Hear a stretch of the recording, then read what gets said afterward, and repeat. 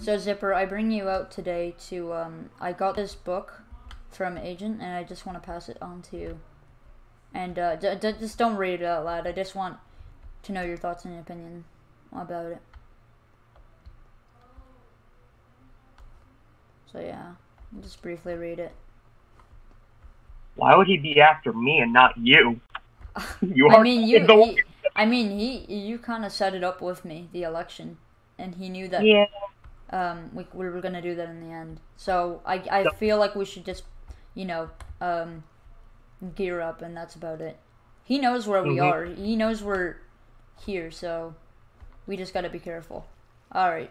That's too bad. Well, let's see. Yeah, Well- this is gonna be bad for him.